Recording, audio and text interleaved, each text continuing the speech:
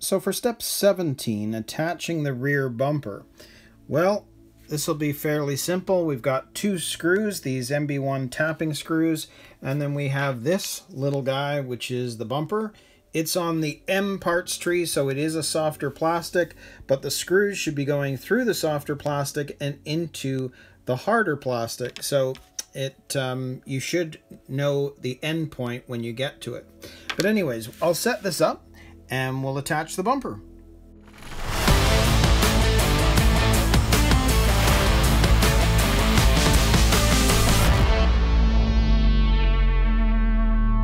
So to attach the bumper, it's pretty easy. You can see that inside the chassis there is a hole there, which this now slides in between.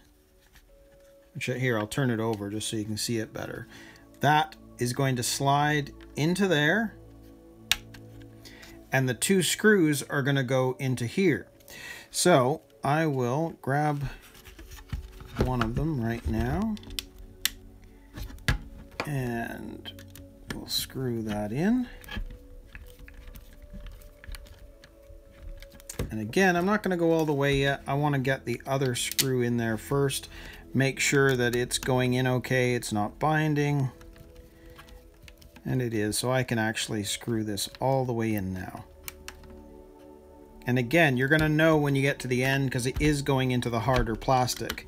So it's going through the softer plastic bumper and going into the harder plastic, which means you're going to get a nice tight fit and you're going to know. So you shouldn't have any issues with stripping things out. So that's good. So there is our rear bumper in place. Very cool. So that is it for step 17. So now we're going to move on to step 18 and start working on the subdeck. So for step 18, the subdeck, the subdeck's essentially the front half of the chassis because this is going to end up attaching to the rear half uh, when you slide this together. So for starters, there's this piece here that they want you to add on to the front and then we have this piece here that has to go on. So there are all of the screws and there's your sub deck, uh, that other piece that's got to go on the front and then the other part that goes onto the center of that. So I'll set this up and we'll put this together.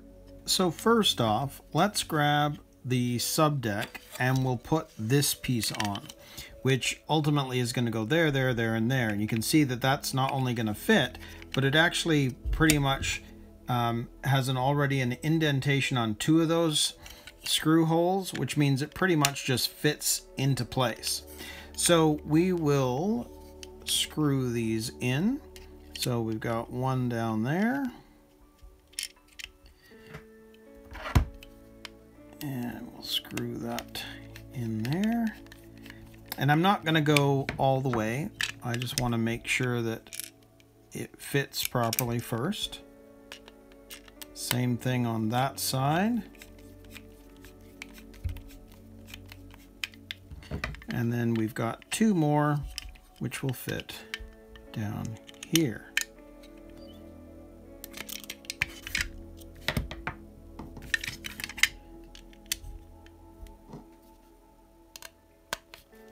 Just like that.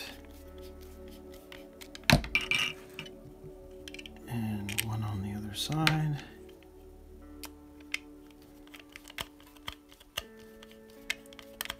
Okay, so now that they're all in, I will start screwing these down all the way. And because we're going from hard plastic to hard plastic, we know we're going to be at the end. You don't have to worry too much about it stripping out. You'll notice that pretty much as soon as it gets to the end, it grabs. So same thing on this one. In, and last one.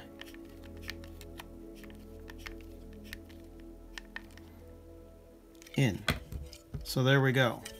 There's that piece in place. So now we just need to put on this box piece. So you can see that in terms of it, the way it's got to fit, they do show this piece there would be something you'd want to remove, which basically is off the parts tree. Just want to make sure that's cleared up. And that is going to end up sitting just like that over top. So we just have the two screws that are going to go there and that's going to fit just like that. So I will grab that screw, make sure that fits on nice. There we go. And grab the other side.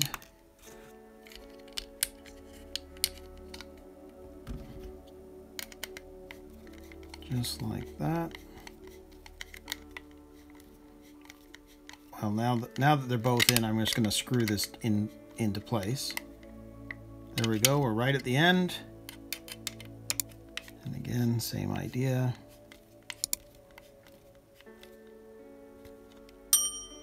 And it's right at the end. So there we go. There is our sub deck with those two pieces attached. So step 18 is complete. So now we're going to move on to step 19 and attach the front upper arms.